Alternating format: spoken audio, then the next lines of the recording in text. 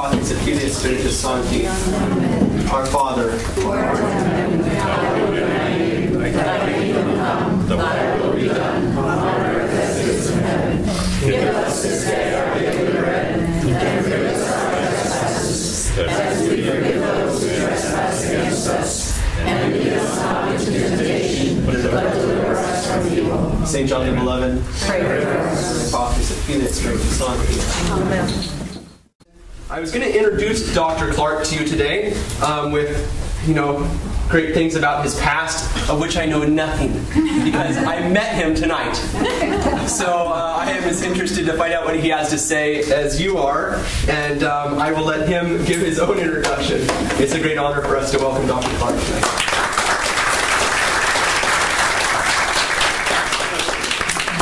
Here are some keys to the main. Oh, all right. Well, thank you all for having me. Uh, I have to say, I'm pretty much blown away by uh, by the program here. I walked in, I saw these posters. I thought, my goodness gracious! I was telling Sabatino last year. We were in California last year. I was I was a tutor at Thomas Aquinas College. I've been there for six years or so, and I was invited to give a talk at this. There's a speaker series down at Holy Spirit Holy Spirit Parish in Atlanta, sort of an epicenter of Catholic intellectual life in Atlanta. And I thought, I don't know how many people came to that talk, but I was impressed. There were maybe 30 or 40 people, and I thought, wow, they've got a great thing going here. And I asked Sabatino tonight, I said, so how many are we going to get? I thought he was going to say 7, 8, maybe 9. he said, I was, I was blown over. And then looking at these posters, it's, uh, it's really wonderful. So I, I, uh, uh, I wish that my family and I were a little bit closer so we could attend all these. Um, I'm supposed to talk about Newman and conversion, which is uh, uh, uh, a topic near and dear to my own heart. Now, I'm not going to bore you with personal observations for very long, but I will say this: um, I had, I was, I came back to the Catholic Church because of Newman, and my oldest son um, John Henry is named for Newman. Uh, I was at Columbia University where I was studying medieval history. I'm a medieval historian, really a historian of medieval theology. That's my specialty. You should be thankful. And I'm not going to speak to you about my specialty. and start putting up manuscripts and paleography and stuff like that. That would be terrible. We'll soon be down to seven. But I was there, and uh, it was, let's see, it was the mid 90s uh, uh, that I was there, and I was, as I said, very far removed from uh, from the Catholic Church, and but I had there was a volume on my shelf. It's actually this volume. I've since had it rebound. You can tell this is a well-thumbed volume. Newman's Plain and Parochial Sermons, and I, what I was looking for I was looking to read something at night in English. Right, I'm every language that I was reading. There was no, I wasn't reading English ever. I was reading mostly Latin, a lot of German, a lot of French, and so I was looking for something in English. And uh, I had heard that Newman was, I knew that he was the master Victorian stylist. I knew that he was sort of the apogee of, of Victorian prose. I also knew that he was a great, a great figure uh, theologically in the 19th century. And I thought, what harm can it do to, uh, to pick Newman off the shelf? And uh, boy, I'll tell you, I started reading. So the first two sermons in here, now, mind you, these are sermons written by Newman the Anglican. This is before Newman became a Catholic. So I opened it up, and the first one was first one says, "Holiness necessary for future blessedness." Okay, and uh, I read it. What a mistake! Um, it was. Uh, I was. I was truly, truly um, blown away. And then the second one, I couldn't put it down, so I read the second one on the immortality of the soul, and I was thrown into a crisis. Um, I realized Newman had me by the throat, and there wasn't much I could do. So, uh, I, but the thing is, there were no other Christians in the graduate school at Columbia, to be honest with you. The only guy I knew was a Wisconsin Synod Lutheran minister. Now, if you know anything about the Wisconsin Synod, you know that they make fun of Catholics. I mean, these guys dress up and do, you know, Pope and Bishop mockery contests. And Glenn and I, I knew him because we were in a fourth century Christianity class in which an Oxford professor was trying to convince us all that Christianity in the late fourth century with Ambrose and Augustine and those guys was overrated, and that the pagan revival was sorely underrated. So Glenn and I were we were in this class together, and I knew from his comments in the class that he took Christianity seriously. So I went over to him and he said, "Well, this is this is you got to do something about this. I teach Latin up at at uh, uh, Corpus Christi up the street, and the pastor up there named uh, Miles Burke. You ought to go see him since you used to be a Catholic. so anyway." To make a long story short, I went to see Father Father Miles Burke. Jack's name, I call my oldest son Jack. He's John Henry Miles Clark. Uh, and uh, let's see, I had one of those confessions when you haven't gone to confession for 25 years or whatever. This was a long time. So Newman, Newman was a powerful, powerful uh, inspiration for me, and I owe, really, I, I think I owe um, uh, uh, my Catholic faith to Newman, and i will be forever grateful for that. Well, that started me reading John Henry Newman. So I just started reading Newman. I read Newman for years and years and years. Now, I'm not a Newman scholar. I know a bunch of Newman scholars. I happen to be friends with a bunch of them. Uh, so it's a pleasure, actually, to come talk about Newman and conversion. And I thought, well, I could talk about Newman and Newman's conversion. Right, and I could give you a 40, 40 minute talk about that, and that's pretty exciting and all that. But it's Lent, and I thought, given what Newman did for me, uh, I think what I'll do is I'll talk a bit about Newman's own conversion, just so you have an idea of who he was, when he lived, uh, about his remarkable life, a little bit of background. And then I picked out two sermons from the plain and parochial sermons to give you an idea of, of the power of, of his preaching and, and uh, of what a huge figure he is in Catholicism. Uh, so, a little bit of background. Newman, Newman was born, I, I, believe, 1801. That's my, it's fuzzy in my memory, but 1801, 1800, right at the turn of the century. And uh, grew up in a family that was otherwise unremarkable. But he tells, this is a book that you should read at some point. it's called The Apologia Pro Vita Sua. And uh, it is, uh, to say it's a classic is an understatement. What it is, it's a history of Newman's he wrote his own autobiography, but an autobiography of his religious views and opinions, right? So uh, it's often compared to St. Augustine's Confessions, right, which is the famous, the famous uh, autobiographical account of, of his spiritual journey of Augustine. Um, this is it's a little bit odd. He tells you nothing about his, his early life, his early childhood. He starts off right away telling you in the first couple of pages about his conversion and just um, just to give you an idea how the book starts, he's on the page one, and he says, Let's see, I was brought up from a child to take great delight in reading the Bible, but I had no formed religious convictions till I was 15. That would be 1816 by my account. Of course, I had a perfect knowledge of my catechism. Now, this is an unusual kid, right? He, he, he has perfect knowledge of his catechism. Uh, he's, he's read the Bible, he delights in reading the Bible, but he had no formed religious opinions, okay? So he's already starting from a place that would be strange for many kids, right? Even many young Catholic, Catholic, Catholic people. I'd be delighted if my kids could write that. I'd, be absolutely, I'd be absolutely delighted. Uh, and uh, but then he, uh, when he was 15, he had a conversion. Now, what, what does that mean? The formed religious opinions. It meant that Newman first really had insight into uh, creedal religion, into, into beliefs, dogmas that would affect his life, things to live by, right? He says, When I was 15, a great change of thought took place in me. I fell under the influences of a definite creed and received into my intellect impressions of dogma which through God's mercy have never been effaced or obscured. Okay, and then he goes through a number of doctrines that he learned. Um, and what he basically came to because of a gifted preacher and teacher that he was exposed to was Calvinism. Okay, how many of you know uh, a good deal or even a bit about Calvinism?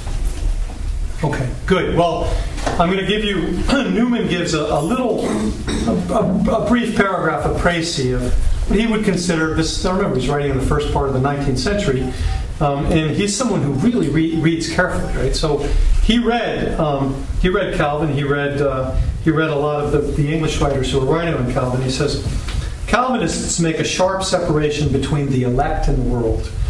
There is much in this that is cognate or parallel to the Catholic doctrine, but they go on to say, as I understand them, very different, differently from Catholicism, that the converted and the unconverted can be discriminated by man, that the justified are conscious of their state of justification, and that the regenerate cannot fall away.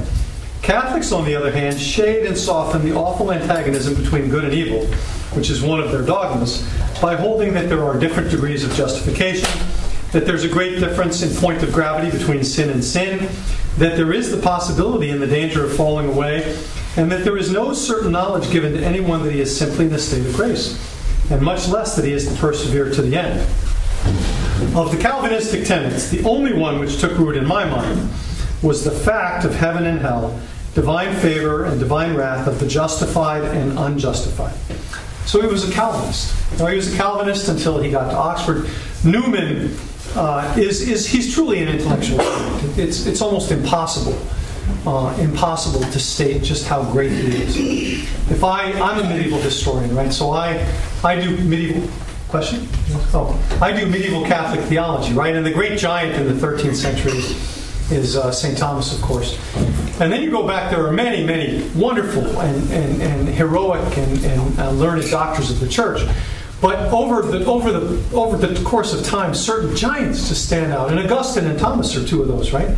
Since St. Thomas, I'd have to say that, that Newman is, is another giant, standing, bestriding modernity like a colossus. Now, his, he, he, he's a giant in so many ways. Um, but one of the ways that he was a giant is when he got to Oxford, he won, this, won these enormous Latin prizes. He actually became part of, of, a, of, he became a leader in a movement led by the brightest lights at Oxford on the faculty. At that time at Oxford, every faculty member was a clergyman, right? And so he led what was called the Oxford movement, right? And the Oxford movement brought back huge numbers of the best and brightest in England to really sincere high Anglicanism. I mean, the highest, just absolutely the best you could possibly imagine. It was as close to the Catholic Church. In fact, in Newman's mind, it probably was the Catholic Church. He brought them back, and it was tremendously controversial.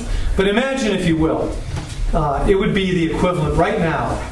Imagine a faculty member. I, I don't want to say, I, let's say Princeton or Harvard. Imagine that you had a faculty member at Princeton or Harvard who was also a clergyman who's preaching at a neighborhood pre- neighborhood church drew all the undergraduates, drew them all, and they all started to take religion seriously. Right? This is the best and brightest in the whole land. Harvard or Princeton, just picture them, right? And they all start going to church. Not only that, they start going to church. They start going to church during the week. They start practicing sacramental religion, and suddenly, whatever the language of Harvard, whatever the religion of, of Harvard or Princeton is, becomes again virtually like a national. Well, you have to go back centuries in the United States to when that was true, right? Well, Newman did that. Then what happened was cataclysmic for England, right? I'm going on a bit too much because I really want to get to his sermons, but to give you some idea of what happened, Newman had read deeply in the Fathers. In fact, if you're interested in the Fathers of the Church, his history of the Arians in the fourth century, based on his readings in the Fathers and especially Athanasius, is still worth reading. Right? If you're a scholar, that's a book that you still read. Right? Now, this is written by an amateur, right, in the early part of the 19th century, right? And it is still, if you're a patristic specialist, Mike, one of my closest friends is a uh, is the top patristics guy in the United States. He's Greek patristics chair at Notre Dame, Father Brian Daley, a wonderful Jesuit, and uh, he would tell you that what I'm saying is true, right? You, if you're going to study patristic thought, you're going to study the fourth century Newman is something you have to read.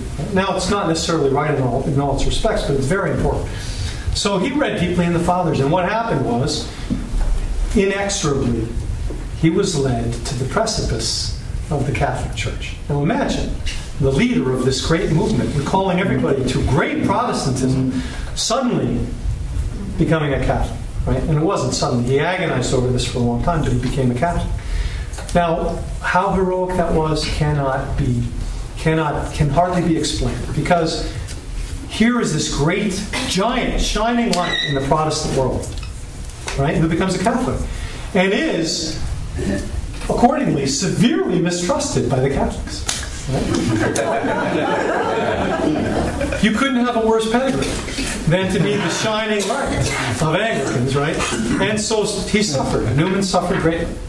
He suffered. I mean, now he was a man who was who was sensitive in temperament, but became a Catholic, and to his dying day, he insisted the greatest single grace God had ever given him, out of a lifetime of incredible high achievements, was his Catholic faith. And of course, near the end of his life, he was made a cardinal. It seemed like if you live, it seems like if you live long enough, you know, all your enemies die out and you, uh, you, win, you win the day. I don't know if that's the right explanation, but uh, some people might argue that. But that's what happened to Newman. So now, he became, when he became a Catholic, he became an Oratorian. How many of you know anything about the oratory of St. Philip Neri? Okay, well, Philip Neri is one of my shining heroes too. Philip Neri is a he's the apostle to Rome in the 16th century. He brought Rome back to Catholicism, much as Newman brought England back to Christianity. Well, Newman became an oratorian. He taught and he wrote, uh, and uh, he uh, he accomplished great things. But tonight, I thought what I would do. It's Lent, so I've told you a little bit about my my little conversion. I've told you about Newman's conversion, but I thought I would let Newman speak to us about what conversion really means. Now, at this point, uh, fasten your seatbelts. I remember when I, when, I, when, I, when I got married a few years later, uh, and I was, of course, so excited about Newman, I, I handed this volume to my wife and said, You have to read this. and uh, she handed it back and she said, I'm not ready for that yet. She said, I mean, are all his sermons like that? I think it's true. So, but I thought rather than just give it, give you all the bad news, I thought I would give one. Newman is there. There are a number of themes that if you read widely in Newman, you can't help but avoid. Um, one of them is the difference between sort of false or worldly religion and real religion. And to Newman, the difference between those two things is as high as heaven above earth. Uh, uh, so, what a truly religious man would be uh, the other the other theme he talks about is that holiness is the work of a lifetime, right? And if you start out as I did, you know, going backwards in the race, right? Yeah, you're going. It takes a yeah, it's a it's a it's a real it's a huge undertaking and not one to be undertaken lightly. True freedom, what true freedom is. But Newman doesn't just set the bar at 10 feet high and say jump over it, right? So I thought tonight I would give you one of the sermons that talk about just how high that bar is, what real conversion means. And then I thought we would read a bit in another one that tells us how to get there. And fittingly, um, since we're right smack at this point in Lent, I picked one of the sermons that he gave right at this point in Lent to a congregation on meditation. So the first one is entitled The Strictness of the Law of Christ. Okay. he always starts his sermons off with a quotation from Scripture. In this case, it's from St. Paul's letter to the Romans. Being then made free from sin, ye became the slaves of righteousness. Okay? Now, I could paraphrase all this, and that would do great injustice to him. I'm not going to read you the whole, but I'm going to read excerpts from the sermon. I want you to get a feeling for just how powerful this is. Okay? So I'm going to comment a little bit in between. But basically, I'd rather you have Newman and have me glossing than the other way around. Okay? so, in the passage of which these words form a part, St. Paul insists again and again on the great truth which they declare that Christians are not their own, but bought with a price, and as such are become the slaves of God. And this upon their being rescued from the state of nature the great apostle is not content with speaking half the truth. He does not merely say that we are set free from guilt and misery, but he adds that we have become the slaves of Christ. We were by nature slaves to sin. We are bought by the blood of Christ. We do not cease to be slaves. Now, that in itself is a pretty, pretty tough opening to a sermon, right? Uh, especially in a society in which the notion of slavery is not an attractive one, right? He says, no, make no mistake, Christians are slaves. He says, this needs insisting on, and I'm going to, I'm going to skip, skip, skip ahead as, as needed. For a number of persons who are not unwilling to confess that they are slaves by nature, uh, uh, deny right? Have they learned to think that they are not bound to any real services at all now that Christ has set them free? Now, if by the word slavery we mean some cruel and miserable state of suffering, such as human masters often inflict on their slaves, in that sense, indeed, Christians are not slaves, and the word is improperly applied. But if by being slaves is meant that we cannot throw up our service, change our place, and do as we will, in that sense, it is literally true. That we are more than slaves to Christ. Okay? Men often speak, and this is one of his themes. You'll find it in all his sermons, even his Catholic sermons. Says this again and again and again. Men often speak as if the perfection of human happiness lay in our being free to do or not to do, to choose or to reject, right? And that's the definition of freedom I think we'd all recognize, right? It's the one that's current. In fact, that's what got me in that, for this is an aside, but what got me in that first sermon, uh, holiness necessary for future blessedness. One of the things he said is that the person who was, who was used to his own will would be miserable in heaven, right? Because in heaven you do God's will, right? And so if you're used to doing your own will, you're not even going to want to be in heaven, right? And I thought, he's absolutely right. My goodness, how right he is. So it's a theme he comes back to. So he says, We may choose our master, but God or mammon we must serve. We cannot possibly be in a neutral or intermediate state. Such a state does not exist. If we will not be Christ's slaves, we are forthwith Satan's. And Christ set us free from Satan only by making us his servants. Satan's kingdom touches upon Christ's. The world touches on the church. Okay, so you see where he's going uh, with this. So then he says, Religion then is a necessary service. And this is another theme. What, what, in what does true religion consist, right? It is a privilege too, but it becomes more and more of a privilege the more we exercise ourselves in it. And this, I think, is, is ultimately when I realized uh, that what I'm going to now read a passage from him that I think would be his definition of true conversion. Okay? What does it mean to be truly converted? The perfect Christian state is that in which our duty and our pleasure are the same when what is right and true is natural to us, and in which God's service is perfect freedom. Okay? So, how do we get there? Right? It's not God's service that's going to change. We have to change. Right? So, we, to get there, we have to be we have to be changed. Right? And so, he says, and again, here's one of the themes I mentioned: holiness being the work of a lifetime. We still have that old nature to subdue. We have a work a conflict all through life. We have to master and bring under all we are, all we do, expelling all disorder and insubordination, and teaching and impressing on every part of us, of soul and body, its due place and duty, till we are wholly Christ's in will, affections, and reason, as we are by profession. Well, that's a high standard. It's what Pope John Paul II called the life of the ordinary Catholic. Right? It's a very high standard. Right? But it takes work to get there. Okay.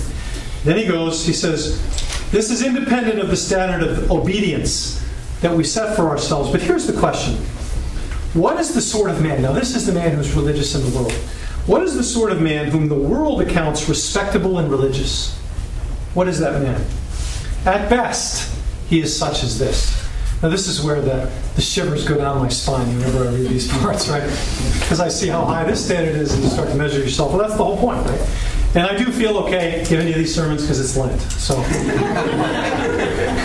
as my wife pointed out, he seems to preach as if it's always Lent, which is probably true. so, at best, he is such as this. He has a number of good points in his character. Some of these he has by nature, and if others have been acquired by trouble, it is either because outward circumstances compelled him to acquire them, or that he has from nature some active principle within him, which has exerted itself and brought other principles under and rules him. He has acquired a certain self command, because no one is respected without it. He has been forced into habits of diligence, punctuality, precision, and honesty. This is a pretty good guy, right? Someone you might want to hire. He is courteous and obliging, and has learned not to say all he thinks and feels, or to do all he wishes to do on all occasions. The great mass of men, of course, are far from having in them so much that is really praiseworthy as this, but I am supposing the best. Okay? I am supposing the best. I am supposing then that a man's character and station are such that only now and then will he feel his inclinations or his interest to run counter to his duty. Okay? So the 99 times he'll do the right thing. But the one time when it, when it might be necessary, it goes against it, he won't. All right? all right. For instance, he generally comes to church, it is his practice. Okay? Again, he is strictly honest in his dealings. He speaks the truth. That is, it is his rule to do so. But if hard pressed, he allows himself now and then in a falsehood, falsehood particularly if it is, slight, as it is a slight one. He knows he should not lie, he confesses it, but he thinks it cannot be helped. It is unavoidable from circumstances. Okay, etc.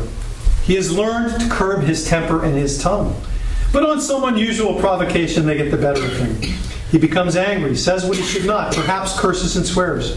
Are not all men subject to be overtaken with anger or ill temper? That is not the point. The point is this that he does not feel compunction afterward.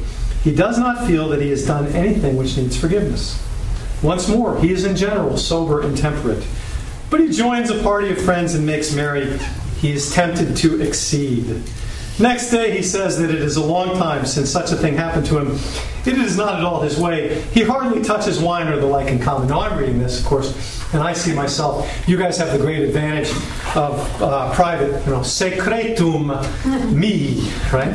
Secretum me. You're allowed to keep your secrets. I'm up here talking about Newman, and my secrets are his in some way.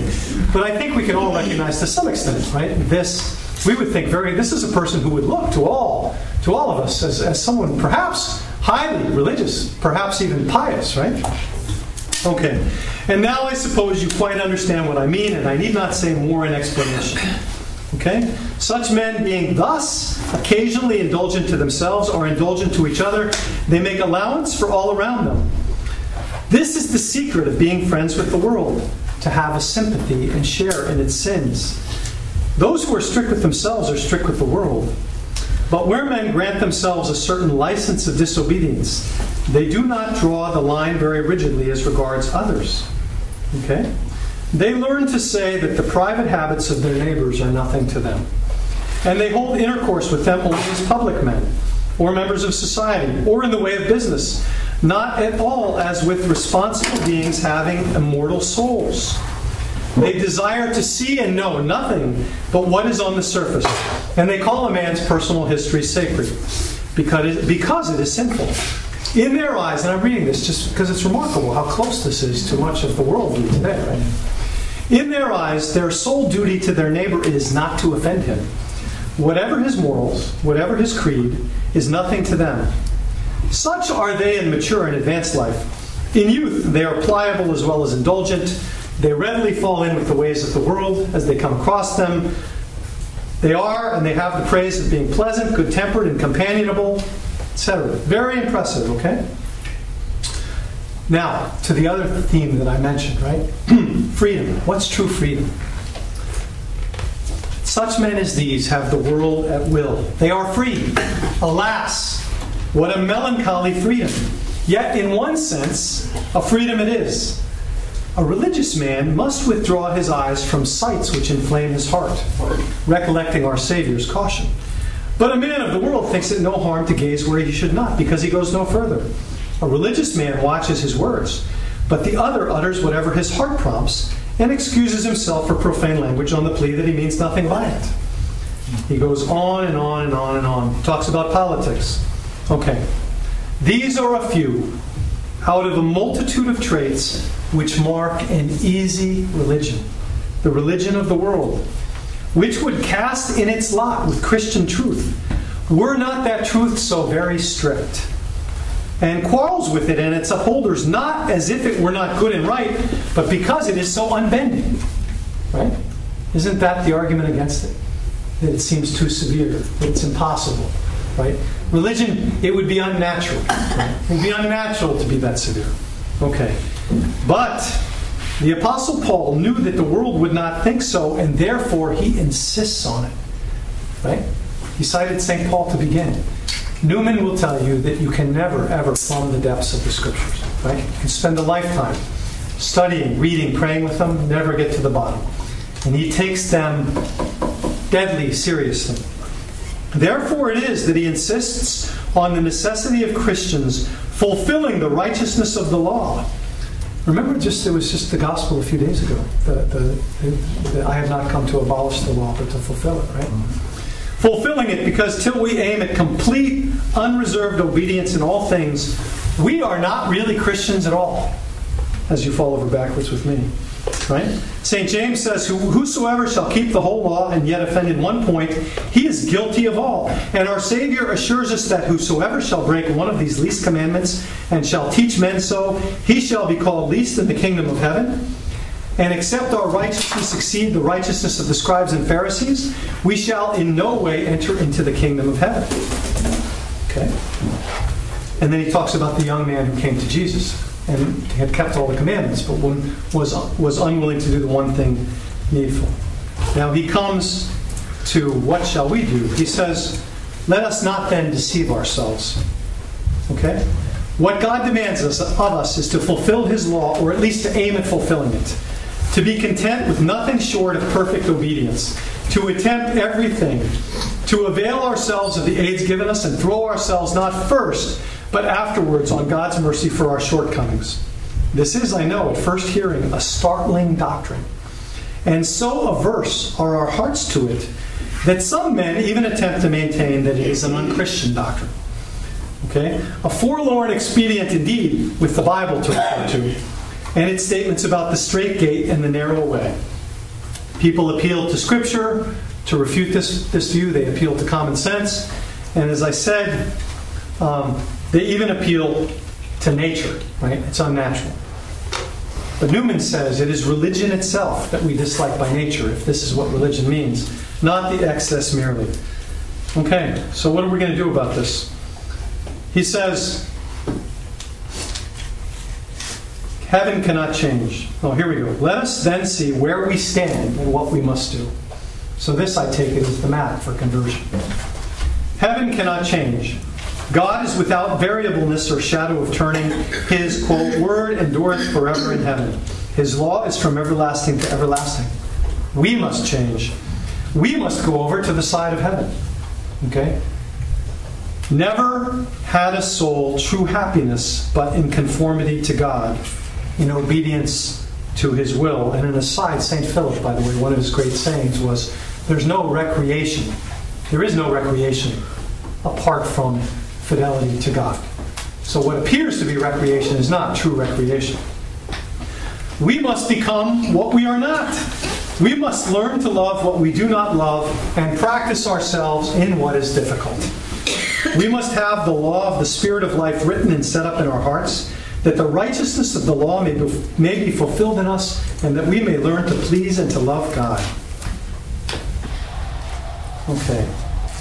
We Christians are indeed under the law as other men, but as I have already said, it is the new law, the law of the Spirit of Christ. We are under grace. That law, which to nature is a grievous bondage, is to those who live under the power of God's presence what it was meant to be a rejoicing. When then we feel reluctant to serve God, when thoughts rise within us as if He were a hard master, and that his promises are not attractive enough to balance the strictness of his commandments, let us recollect that we as Christians are not in the flesh, but in the Spirit, and let us act on the conviction of it. Let us go to him for grace. Let us seek his face. Let us come where he gives grace. Let us come to the ordinances of grace in which Christ gives his Holy Spirit to enable us to do that which by nature we cannot do, and to become the servants of righteousness. They who pray, and he never left those youthful hearers at Oxford uh, feeling as if they couldn't do it. He always gave them right at the end what they needed to do. They who pray for his saving help to change their likes and their dislikes, their tastes, their views, their wills, their hearts, do not indeed all at once gain what they seek. They do not gain it at once asking. They do not perceive they gain it while they gain it. But if they come continually day by day to Him, if they come humbly, if they come in faith, if they come not as a trial how they shall like God's service, but throwing, as far as may be, their whole hearts and souls into their duty as a sacrifice to Him, if they come not seeking a sign, but determined to go on seeking Him, honoring Him, serving Him, trusting Him, whether they see light or feel comfort or discern their growth or no, such will gain, though they know it not. They will find, even while they are still seeking. Before they call, He will answer them, and they will, in the end, find themselves wondrously saved, to their surprise. How they know not, and when their crown seemed at a distance. They that wait on the Lord, says the prophet, shall renew their strength. They shall mount up with wings as eagles. They shall run and not be weary, and they shall walk and not faint. And that is the end of his sermon on the strictness of the law of Christ. so you get a sense, a real sense, of the high ideals Newman has. Now, we're going to end with a couple of prayers and meditations, but I want to read just a little bit from the, the sermon that he gave for this coming Sunday in Lent. Okay? It's called Christ's Privations, a Meditation for Christians.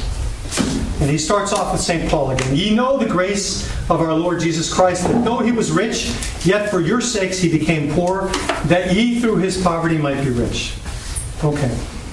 As time goes on, and now I see myself, I see this so clearly in this sermon, and so many, so many of us do. I thought, this is the way. This is the tangible practicum, right? If someone asks me, like, if anybody, in fact, uh, this has been the, the, preaching at the college of the, of the chaplains has been on this very subject for a number of weeks. As time goes on and Easter draws near, we are called upon not only to mourn our sins, but especially over the various sufferings that Christ our Lord and Savior underwent on account of our sins. Why is it, my brethren, that we have so little feeling on the matter as we commonly have? Why is it that we are used to let the season of Lent come and go just like any other season, not thinking more of Christ than at other times, or at least not feeling more? Am I not right in saying that this is the case? And if so, have I not cause for asking why it is the case? We are not moved when we hear of the bitter passion of Jesus Christ, the Son of God, for us. We neither bewail our sins which caused it, nor have any sympathy with it. We do not suffer with him. If we come to church, we hear and then we go away, not distressed at all, or if distressed only for the moment. And many do not come to church at all. They eat, they drink, they sleep, and rise up and go about their business and their pleasure during the season just as usual. They do not carry the thought of him who died for them along with them. With them, they in no sense live, to use St. Paul's words, by the faith of the Son of God, who loved them and gave himself for him. This, alas, cannot be denied. Yet if it be so that the Son of God came down from heaven, put aside his glory, and submitted to be despised, cruelly treated, and put to death by his own creatures, by those whom he had made, and whom he had preserved up to that day and was upholding in life and being. Is it reasonable that so great an event should not move us? Well, clearly, it's not, right? And yet, Newman points out that I know that it's true of myself. Right? You go through your daily business, right? Even um, you, I, I have I'm at the college, so I, I, have the great good fortune of being able to, to go to a daily mass, right? The 11:30 mass. My kids and family live down the street. They come join me. It's terrific. I go in there. I recollect myself. If I'm lucky, after the morning's classes, I walk out. Boom! I'm hit with life, right? And then I go from that until maybe after the kids are in bed at 8:30, right? Not having given a second thought to uh, to to what I was hearing in church and what I was feeling at the time, right? So does it not stand to reason that we must be in a very irreligious state of mind unless we have some gratitude, some sympathy, some little love, some little awe, some little self reproach, some little self abasement, some little repentance, some little desire of amendment? Okay. Now, what are we going to do about it? That's what he, that's what he gives us the sermon on what can we do. Here it is. Why is this? Why do we so little understand the gospel of our salvation? Why are our eyes so dim and our ears so hard of hearing? Why do we have so little faith, so little of heaven in our hearts? For this one reason, my brethren, if I must express my meaning in one word, Because we so little meditate. You do not meditate, and therefore you are not impressed. What is meditating on Christ? It is simply this thinking habitually and constantly of Him and of His deeds and sufferings. It is to have Him before our minds as one whom we may contemplate, worship, and address when we rise, when we lie down, when we eat and drink, when we are at home and abroad, when we are working or walking or at rest, when we are alone, and again when we are in company. This is meditating. And by this, and nothing short of this, will our hearts come to feel as they ought. So he goes on through this, and I'm not going to go through this sermon.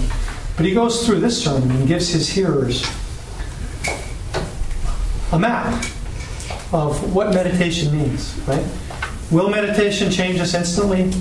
We think on this, if we if we think on the various episodes in the gospel, if we think about Christ as we go about our daily business, will it change us instantly? No. Will it change us inevitably, gradually over time? No doubt, because it changes our hearts. And I will.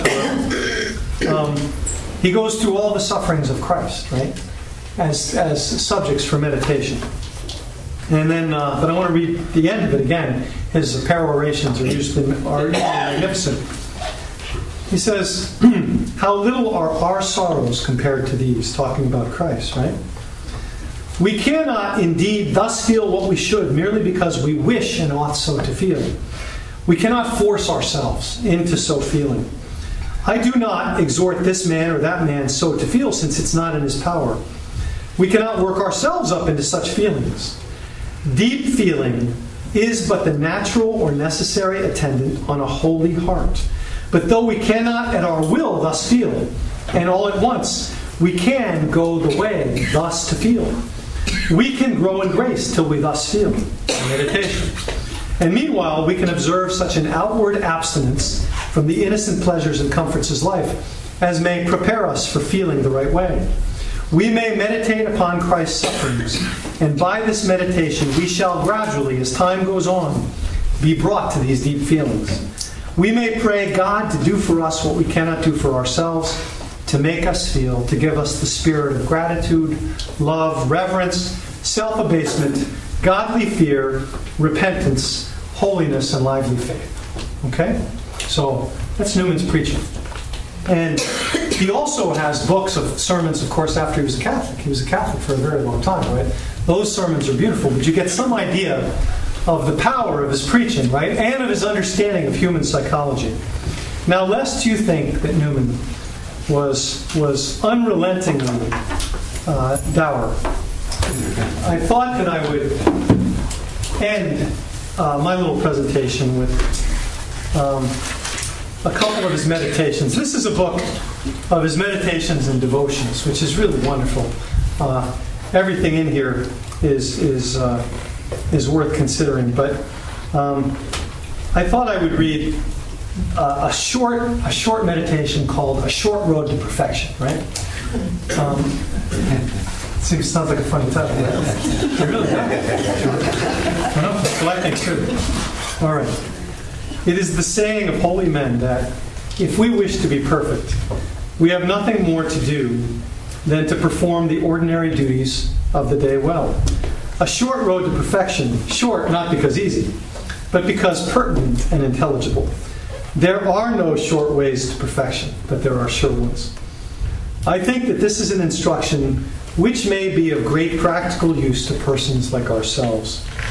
It is easy to have vague ideas of what perfection is, which serve well enough to talk about when we do not intend to aim at it. But as soon as a person really desires and sets about seeking himself, he is dissatisfied with anything but, but what is tangible and clear, and constitutes some sort of direction towards the practice of it. I know I am, right? You want to have a real roadmap, you want to have a sure guide. We must bear in mind what is meant by perfection it does not mean any extraordinary service, anything out of the way or especially heroic. Not all have the opportunity of heroic acts of sufferings. But it means what the word perfection ordinarily means. By perfect, we mean that which has no flaw in it, that which is complete, that which is consistent, that which is sound. We mean the opposite to imperfect. As we know well what imperfection in religious service means, we know by the contrast what is meant by perfection He then is perfect, who does the work of the day perfectly. And we need not go beyond this to seek for perfection. You need not go out of the round of the day. I insist on this because I think it will simplify our views and fix our exertions on a definite aim. If you ask me what you are to do in order to be perfect, I say first, do not lie in bed beyond the due time of rising. Not that I have a choice, with my kids. Give your first thoughts to God. Make a good visit to the Blessed Sacrament. Say the Angelus devoutly. Eat and drink to God's glory. Say the Rosary well. Be recollected. Keep out bad thoughts. Make your evening meditation well. Examine yourself daily. Go to bed in good time, and you are already perfect. so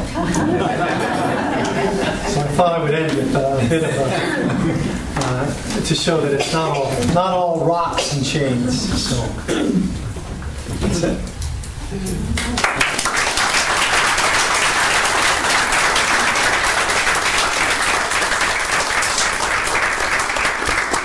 Know some of you that uh, live a long ways away said we're on a tornado watch. The weather looks fine, but if you, uh, we'll give a 60 second break in case anybody does need to head home and get out of here before we have bad weather. I don't know. So feel free, stand up, take a 60 second break. If you need to leave, there's the door. Otherwise, uh, have a little more soup, and then we'll have just a few questions for Dr. Clark. By the way, that's. Just figure. I'm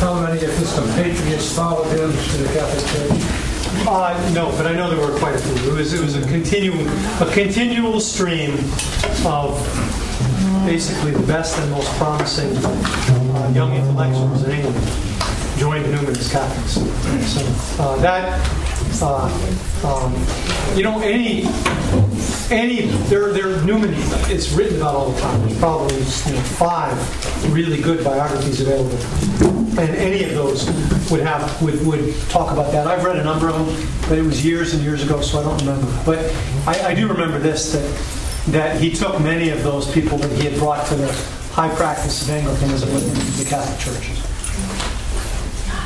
Yes, ma'am. That's okay, go ahead. Um, I was going to make a comment that um, I too came back to the Catholic Church um, after being away for 20 years, and um, I think I I asked those very same questions and sentiments that um, you know Bishop Newman had asked those questions, uh, written those words, and I came. For me, I speak for myself. I think it's a love affair. And I look back in my own life and how I've gone in and out of love, gotten married, you know, and was in a love affair. And that's what it is. It's a, it's a love affair. And if you're not in love with God, then who is He? And what draws you to Him except when disaster or when you've been fulfilled with the earthly and material goods, and then you say, okay, what more is there in life? And for me, I said, ah, it's the spiritual thing. I've accomplished all the material goods. Now it's the spiritual thing. So now, you know, anyway, that's my feeling. Thank you.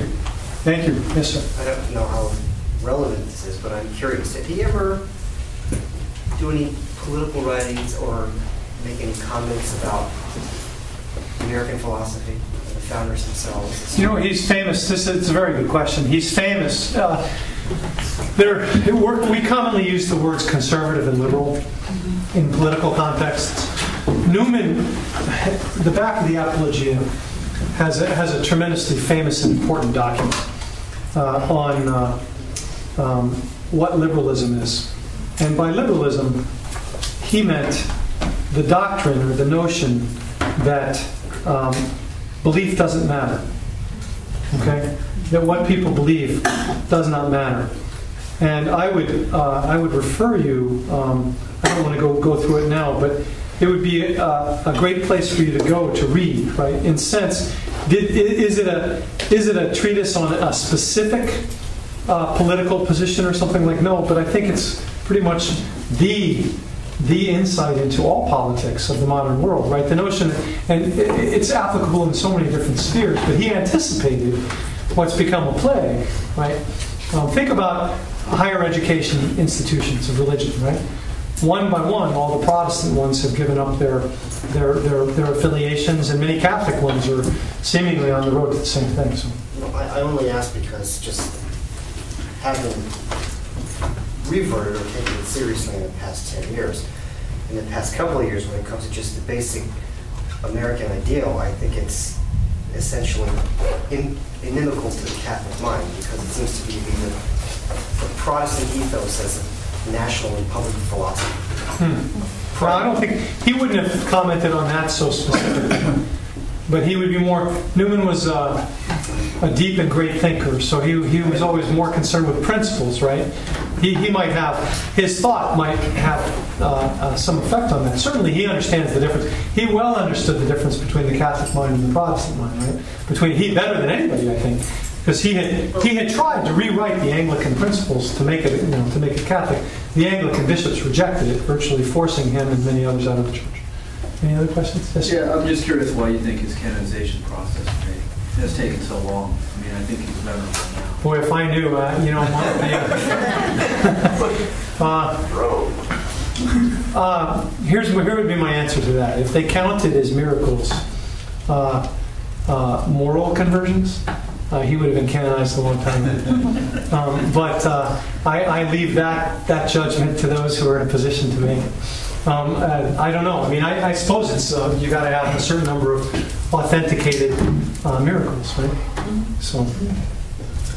Would you share more about when you um, when you convert to Catholic? When I came back to Catholic, back and what really what the what was what are the key thoughts that, that, that really drive you into that? And what what is attractive you that to do? You know, to be honest, I, honestly was in, I was in a state of terror I mean, after reading those two sermons, I literally I got down on my knees, and I was.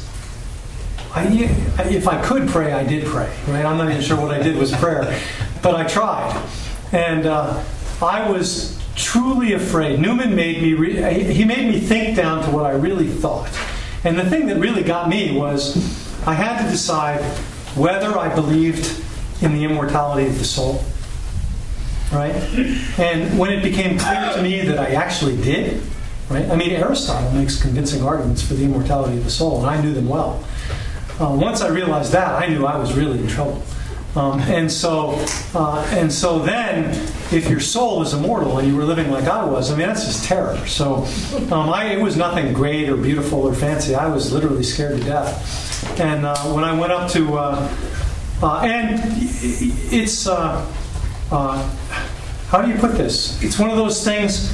You you you, you go. I went to confession and I thought that was great, right? And I felt terrific. And then I realized, you know, you're it takes a long time to escape bad habits, right? So that process is, you know, I think about that question all the time. It's no longer out of terror, it's more out of, you know, love and attraction, right? It, it becomes much more attractive as time goes on, right? That's only because maybe I'm changing a little bit more towards heaven, right? Hmm. Does that answer your question? Any others? Have Yes, you sir. and Scott Allen ever sat down and had a discussion about your conversion? We haven't. You have or haven't? We have not. Oh. No, no, no.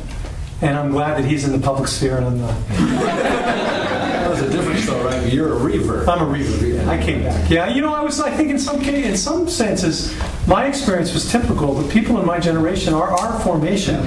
You know, my parents were Catholic, but our, our, our Catholicism was. How, how can I describe it? It was. It was huh? It was just there. We, we went to church, but there, we did. There was no real deep. There, intellectually, eh, there was no real formation of the kind that my wife and I are really trying hard to give to our children. And so, you know, I, I liken it to being swept downstream by a current. You know, it's not as if it was any. Look, I think in, in all respects, my experience was typical, except for I was probably worse than most. And but in this respect, it's atypical. I mean, it's just a tremendous mercy, right? I mean, to actually come back uh, to to to Catholic, you know, to come back to being a, you know striving to lead the life of an ordinary, ordinary Catholic. And of course, I'll tell you, nothing but good things have happened to me since then, right?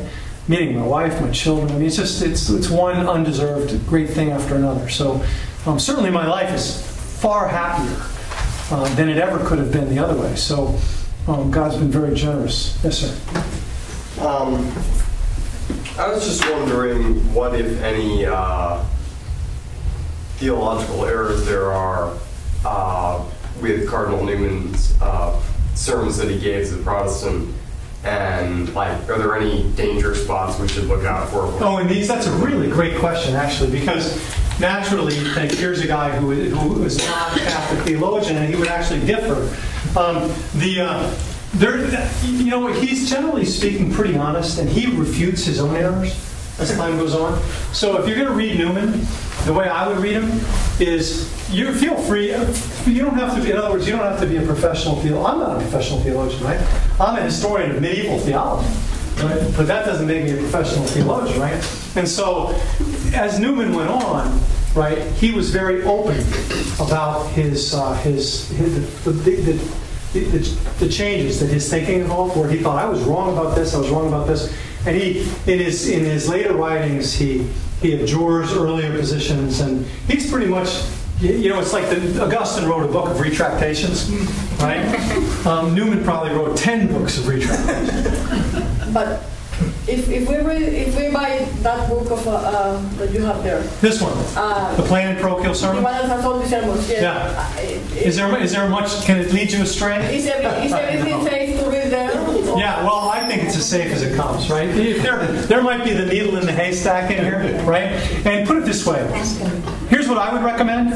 If you read this and have a question about it, um, ask. Well, since I am not a theology, the theologist, I don't, I don't know if what I am going to, I am reading is uh, is uh, right or not right according to the church, to Yeah. the Catholic Church. With, with the exception of just a couple, one or two little things, it is so close as to be in this. Put it this way Newman read the Greek and the Latin fathers of the church, right? The great doctors of the church in Greek and in Latin.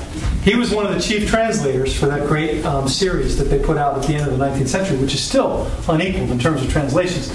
So he almost couldn't help being Orthodox, right?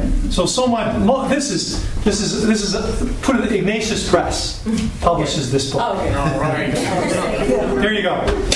Um, who's the uh, the priest? Uh, uh, Father Fessio. Father Fessio, one of them is published. So there you go. That's better than anything I can say. So along the same lines, can you pinpoint when there's the conversion from Calvinism to Anglicanism? And then do you, that has to be a big leap from him to be, from him believing that he's part of the elect and choosing to live that way to then believing that, you know, you could win or lose your salvation. Yeah, that change took place really quickly. When he got to the University at Oxford, the Calvinism disappeared, and High Anglicanism, under the influence of Pusey and Keble, two great and learned Anglicans, two great preachers, writers, theologians, really. I So we're not going to see any of the pre, pre-Anglican stuff. in this, no, No, no. no. Well, there- you know, I, I remember a couple of times reading a sermon, thinking, I wonder if that's, and we talked, I wonder if that might be a little bit of a remnant, but you don't have to worry about it. This is this book, though, the history of his religious thought, and the, the, the, the going over to Catholicism. The Blessed Virgin right, was a big stumbling block, right? It Took took a long time, and then uh, there, hmm? Why? because he was a Protestant. Because of the rise. Just as can't explain that, man. All right. Are we done? Yeah, whatever you call good. If you have any uh, personal questions, feel free. But I have one last uh, announcement I forgot to make before. Thank you very much. Thank you.